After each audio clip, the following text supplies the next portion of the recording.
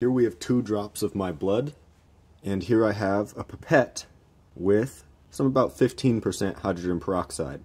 And I've heard hydrogen peroxide in blood are uh, reactive. Wow! You see that? Instantly back to white paper. Oxidizes it all. Man, that's cool.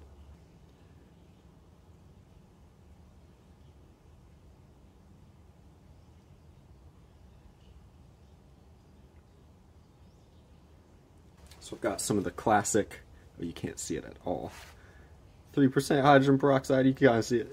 Just gonna drop some on there and you see that had a very similar reaction, but nowhere near as violent as the uh, concentrated stuff.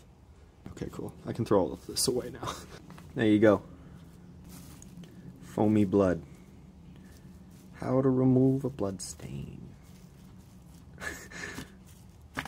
this is how you do it. Definitely this.